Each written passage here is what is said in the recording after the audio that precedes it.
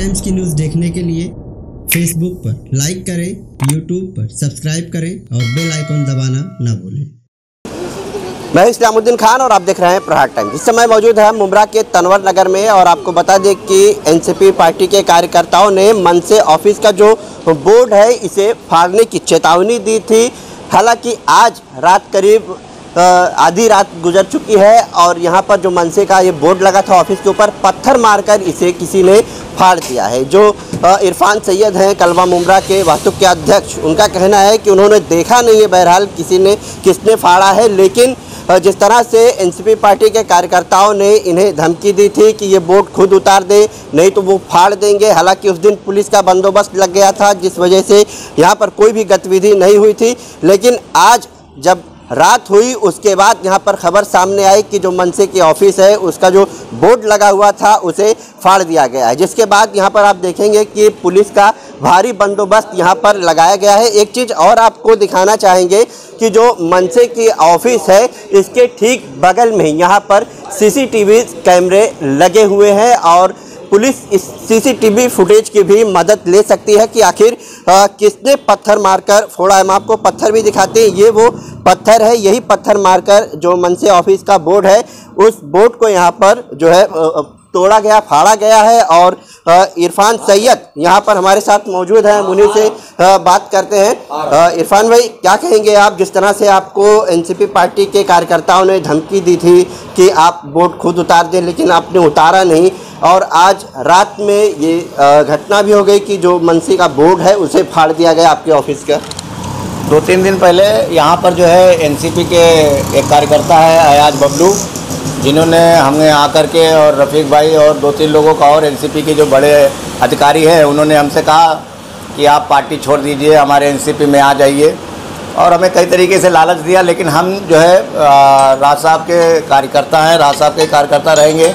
और हमारी जो ऑफ़िस है, उन्होंने कहा था ख़त्म करने के लिए और उन्होंने ये बात कहा था कि हम तुम्हारे ऑफ़िस का जो है बैनर फाड़ देंगे और ऑफ़िस बंद करा देंगे। तो एनसीपी की गुंडागर्दी है। जब से सत्ते में है तो सत्ते का नशा है। सत्ते की वजह से वो गुंडागर्दी करके विपक्ष को ख़त्म करना चाहती है। लेकिन हम एनसीपी के कार्यकर्ताओं से और एमएलए जितेंद्र अवार्ड साहब से भी आपके चैनल के ज़रिए से बताना चाहते हैं कि ये महाराज नवनिर्माण सेना की ऑफ़िस है और ये रहेगी और किसी के माँ ने नहीं जना कि इरफान सैयद को खरीदे। और कोई अपने पार्टी में शामिल करे? हम राज साहब के कार्यकर्ता हैं राज साहब के ही कार्यकर्ता रहेंगे। और आपने देखा है क्या किसने आपके पार्टी ऑफ़िस का जो बोर्ड है किसने फाड़ा किसने पत्थर मारा? आपने देखा है? नहीं हमने देखा नहीं है क्योंकि हम 11 बजे तक थे यहाँ पर जब तो नहीं था लेकिन हाँ, उसने जो है बबलू आयाज ने जो है खुला चेतावनी दी थी किसी चैनल में भी देखा था। उसने हमसे भी कहा था कि हम ऑफ़िस बंद करा देंगे और आप ऑफ़िस बंद करिए नहीं हम तुम्हारा ऑफ़िस बंद कराएँगे और बैनर को फाड़ देंगे।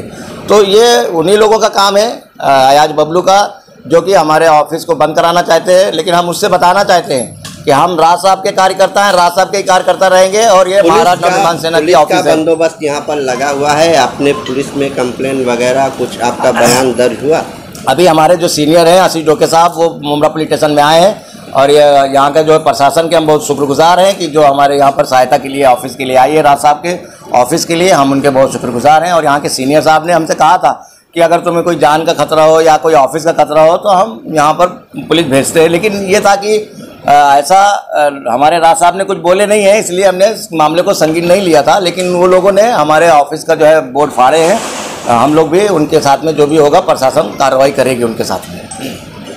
ये इरफान सैयद है, मनसे के पदाधिकारी। लेकिन एक बात और आपको यहाँ बता दें कि मुमरा में यहाँ पर मनसे पार्टी के जो कोई भी कार्यकर्ता है, इनके साथ यहाँ पर मनसे का नहीं, ये अकेले ही यहाँ पर हैं। जब से ये राज ठाकरे का जो बयान आया, अजान को लेकर, उसके बाद से मुमरा में जब इनके ऑफ़िस को चेतावनी धमकी दी गई कि आपका वोट फाड़ देंगे, तब से ये इस पार्टी में, इस यहाँ ऑफ़िस पर ये अकेले ही दिखाई दे रहे हैं और उनके साथ कोई भी कार्यकर्ता नहीं है। हालाँकि वरिष्ठ जो जो है इनके पार्टी के, उनका फ़ोन इनको ज़रूर आ रहा है और बहरहाल जिस तरह से आज यहाँ पर ये बोर्ड फाड़ने की घटना सामने आई और उसके बाद अब इनका कहना है कि इस पर पूरे मामले की जो जाँच पड़ताल वो मुमरा पुलिस करेगी। कैमरामैन नीलेश कनौजिया के साथ इस्लामुद्दीन खान फ्रा टाइम्स मुमरा